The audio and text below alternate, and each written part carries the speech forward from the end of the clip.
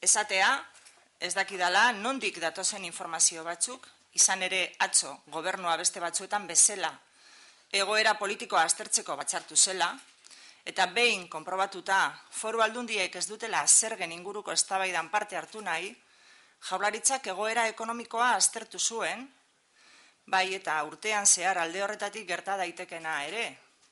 Eta ondorioa hau da, egoera lasaia dela, eta batez ere jaurlaritzak ez duela inolako murrizketarik egingo. Hori argi esan behar da eta argi esaten ari naiz. Lendakariak ostiralean esan zuen bezala, ez da murrizketa gehiagorik egongo, eta lehentasunak daude. Hori bai, lehentasunak. Beti egon dira, baina bereiziki egongo dira 2008 garren urtean.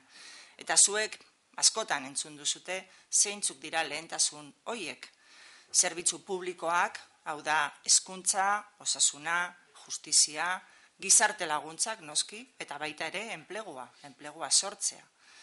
Hoiek dira e, gobernu honen lehentasunak eta lehendakariaren lehentasunak.